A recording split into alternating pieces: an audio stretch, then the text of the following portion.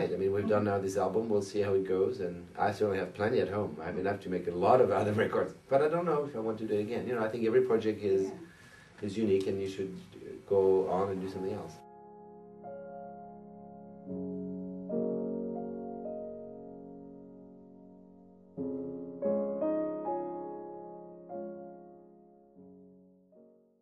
I don't know about Mozart. I adore Mozart. I adore Bach also. I just don't know about uh, playing at a concert. We'll see. I mean, I'm thinking about it. I think I will go back to more classical that I've done lately. I will play more, and like next year and the year after in recital, I'm going to play, for example, the Brahms F minor sonata, which is something I wanted to play for a long time. Uh, I've been playing more of the romantic. I would say the big romantic. Oh, actually, you know, Brahms is actually more romantic than classic, so I'm still, I guess, stuck in that in that era. There's nothing wrong with it, but uh, Beethoven, yeah, I play the concertos, and I'd like to play them more. The sonatas I haven't played in a long time. You know, it's very difficult. The piano repertoire is so big, and I also think that there's so many wonderful pianists around, and some are really, you know, they play certain things so well that unless you have really something important and extraordinary to say about a composer or a piece, I mean, uh, I don't see the point why you should do it. I think you have to do things that you really feel that I mean, it's not that you can do it better than other, but just you feel strong about it, you know.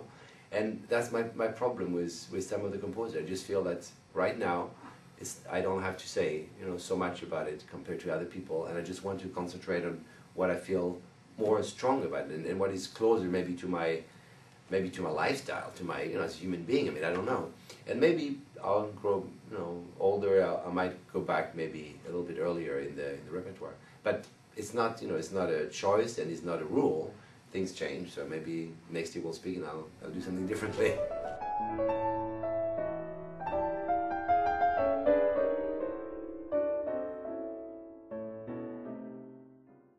Love Gershwin. So, Gershwin yeah. is a very special composer for me. Um, doing a lot and playing a lot the concerto in F. Uh, I've done a lot of the Rhapsody as well. And actually, we're planning a recording. I cannot say too much about it, but there will be in the near future a Gershwin project on, on records for Decca.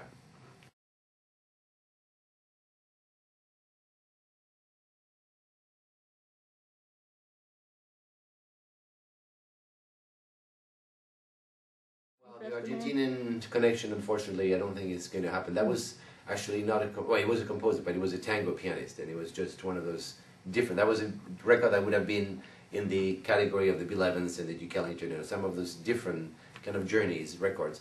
Uh, now I'm, I'm playing another one now. Uh, I cannot tell you which country, but it'll be interesting too. It's a very important influence that uh, music I love, uh, folk music also, and I'm trying to see if I can find some some of the great people in that country to help me put together an album that would be something quite different. Um, but um, but I'm very interested in the living composers. And for example, next year, I mean actually it's this year now. What are we now? Seven? Yeah, in, in 08, in June 08, I'm going to uh, premiere a new concerto that uh, was commissioned by the Atlanta Symphony uh, to a marvelous composer called Behzad Ranjbaran. He uh, composed a piece for Joshua Bell, a concerto that was very successful, and he's now composing a concerto for me as well. And I, and I think it's very important to play pieces, you know, from your era and to commission them because for the future, you know, this is how we get all the marvelous pieces that we have. Also, a great French composer called Guillaume Connesson is going to write a concerto, I think in 09 or 10 for me. So always keep an eye, you know, and an ear, I should say, on new composer. Gui- yeah, send. I, I receive so many tapes and scores and stuff, and I meet them and always listen. And when somebody speaks to my, you know, I don't know when I feel an emotion from the music, then I always say, okay, let's try to see if we can work together.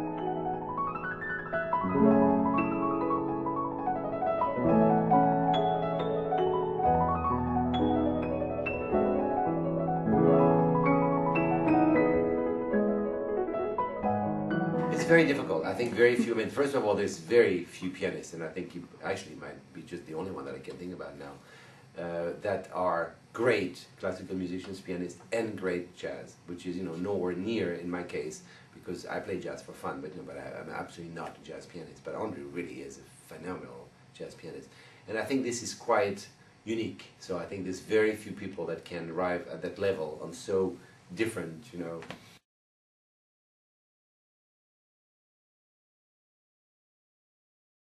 You know, no, I mean, I, I'm, I'm very realistic. And I know exactly what I can do and I can do, it. you know, and jazz for me, it's fun. But I'm not a jazz pianist for sure.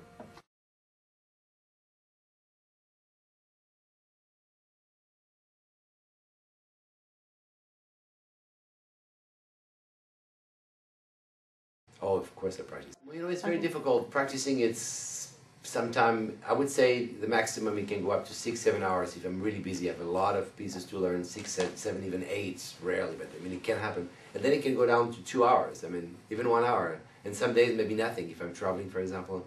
But it is on a regular basis. I mean, I would say discipline is that you have to practice very regularly. And I think it depends how much work I have. If I have three concertos to play in at the same time or two recitals, whatever, then I need to practice more. If I have the same piece for a week, then but then still I will practice. I mean, this week I played three times with the orchestra, the same piece every night. Still every day, I think I was probably practicing two, two and a half to three hours just on that piece. It's true, yeah. I mean, Mhm. as far as I can remember, piano was always present in my life.